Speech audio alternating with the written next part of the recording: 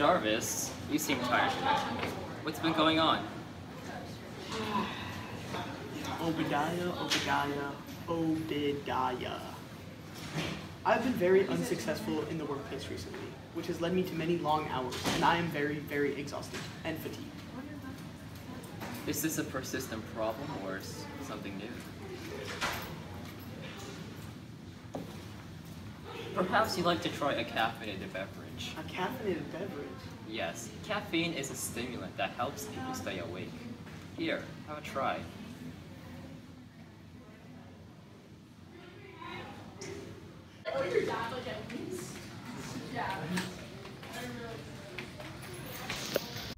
A few moments later.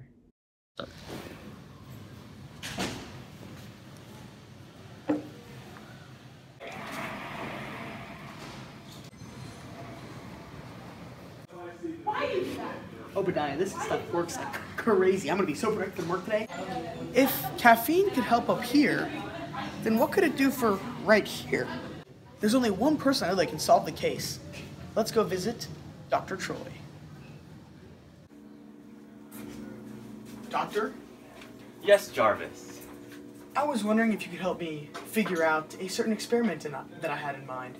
If caffeine can affect the brain, what do you think it could do to E. coli in our intestines to stop indigestion? I don't know. Let's find out. First, we need five petri dishes, five diluted solutions of caffeine and ca- uh, caffeine powder and water, and E. coli. Um, first, take a swab of the E. coli and rub it against the one of the petri dishes. Then take 0.8 milliliters of each solution and place it into their designated petri dish. Stack all the petri dishes and tape them all together. Then we put it in our incubator and wait 24 hours. Now we will go to Nishad, our lead scientist, to interpret the results. We have found that as a concentration of caffeine increases, the growth of E. coli also increases. However, this was not the case in some of our trials. For example, our last trial that we conducted, all five plates of different caffeine solutions had the exact same amount of E. coli. This could be explained by several sources of error.